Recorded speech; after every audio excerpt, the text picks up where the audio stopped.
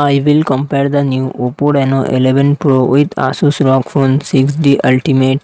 Oppo Reno 11 Pro comes with 6.74 inches OLED display and success ratio 20 to 9. Asus ROG Phone 6D Ultimate comes with 6.78 inches AMOLED display and success ratio 19 to 5 to 9. Oppo Reno 11 Pro run on the Android 14 operating system. Asus ROG Phone 6D Ultimate run on the Android 12 operating system. Oppo Reno 11 Pro it comes with 12GB RAM and 256GB 512GB internal storage. Qualcomm Snapdragon 801 processor and GPU Adreno 730. Asus ROG Phone 6D Ultimate it comes with 16GB RAM and 512GB internal storage.